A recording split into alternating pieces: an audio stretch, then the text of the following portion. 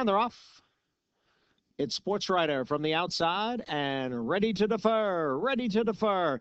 Takes the early lead. Uncle T7's in between horses there along with Saginaw. And on the outside, Sports Writer, then Be Bullish. The tight bunches, they head up the backstretch. Readytodefer with the lead by a length over the favorite Saginaw.